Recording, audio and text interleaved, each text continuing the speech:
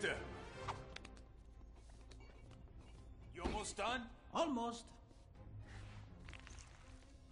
He is here. I sense it.